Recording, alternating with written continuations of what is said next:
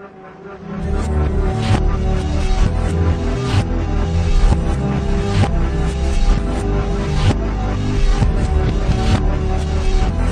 guys, and welcome to another episode of Among the Stars Celebrity Perfume Review. So today, I'm extremely happy to be bringing you guys my review of Melanie Martinez's Crybaby Perfume Milk. So this perfume technically was announced and launched at the end of 2016, um, but due to some delays in shipping and whatnot, um, it didn't actually ship out until um, the middle of January, uh, meaning we just now got them. Um, people are just now getting them if they purchase them. Um, with this, I was a little upset that there like the shipping was delayed on it because it was supposed to be here at the end of December, and then it got pushed back. But the box is really cool. So it's in like a can, like almost like a peanuts can or whatever, and it says Melanie Martinez Crybaby Perfume Milk, not for consumption, 75 milliliters, 2.5 ounce, and it's kind of got like this nostalgia look to it. The top has um, Melanie Martinez's Crybaby Milk logo uh, put in it. So it comes off like this, and there's actually a kind of like a safety seal that says Crybaby on it. And then you actually pull this off, and I already took mine out of the bottle, or the box, but you've got confetti in there, and then there's also like a I don't know if you guys can see. There's also like a piece of plastic that goes over top of the bottle that holds it in, so like everything's all nice and safety and secured. Um, I really like the whole like concept behind this packaging, so I kind of wanted to keep everything nice and together with it. If that makes any sense. Um, so that looks like that. It's literally like a tin can. And then your bottle looks like this.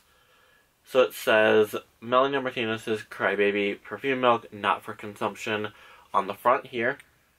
Um, and it's got a baby bottle nipple up here, which is like a real baby bottle nipple. Um, all four sides are in kind of that milky color, except for the back, which it says um, happy, almost gone, and dead. I don't know if you guys can see that or not. And it actually is like milk colored which I think is really, really cool and really unique and different. And then, so the top comes off and you twist it like that. And your sprayer looks like this. And the other cool thing about the sprayer is it says, oh, let's see if I can get can focus. It says fuck off on it, which I find really funny. And what's even funnier is on the back of the bottle, it's got a parental advisory, or on the box it says a parental advisory. Um, but you've got like all this information on the side of the bottle or the box that kind of gives all this information. So this fragrance wasn't actually made by like a perfume company. Um, it was actually produced and sent out via her uh, record label. So I find that really really cool.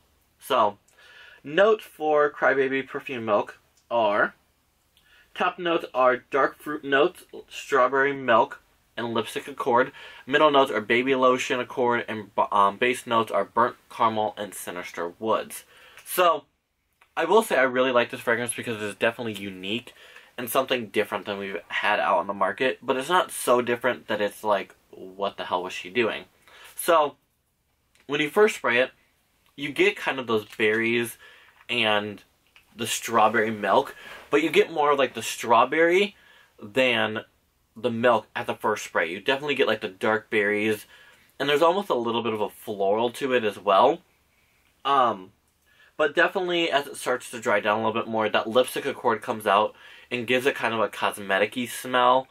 Um, as you start to dry down more of this fragrance and you get into the heart, the fragrance definitely, that baby lotion accord pulls off and is definitely kind of the standout note throughout this entire fragrance. As it starts, you know, kind of drying into that heart, it never really loses its top. The top just kind of transforms a little bit into the base and gives it kind of this berry-esque, lotiony, cosmetic smell with a slight sweetness which is coming from that burnt caramel from the base. And it definitely does have like even a slight woody note from the base. Um, but what was cool about this is it definitely is nostalgic and it, I feel like it fits the whole theme very well. It is definitely very baby-esque, very um, soft and powdery, And my husband didn't really know what the whole kind of concept behind this was, and he said to him it smelled like a like a one year old baby who had been freshly changed. And what he meant by that wasn't like it doesn't have like a baby powder note to it, or it's not like super powdery, but it has that kind of like clean baby lotiony, like fruity vibe to it.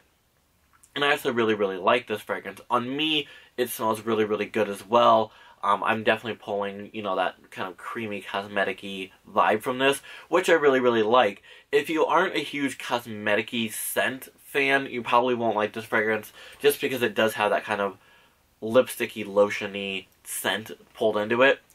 Um, I definitely think this is kind of a daytime fragrance and definitely something that could be someone's signature scent. To me, it doesn't really fall into a season. If you had a season it, I would say it would probably be spring but definitely is kind of an all year round um, daytime signature type of scent.